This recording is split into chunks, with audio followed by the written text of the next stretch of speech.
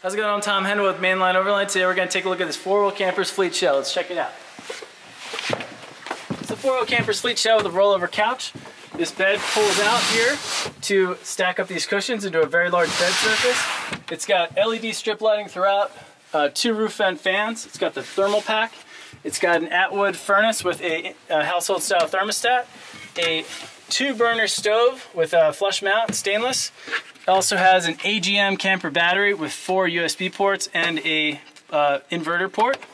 And finally, it has this very large seating area that turns into a very nice bed. Very large bed surface here. You've got storage underneath in this area extends through there. And this camper is available on our current inventory page on mainlineoverland.com. So give us a call and check it out. Four Campers Fleet Shell.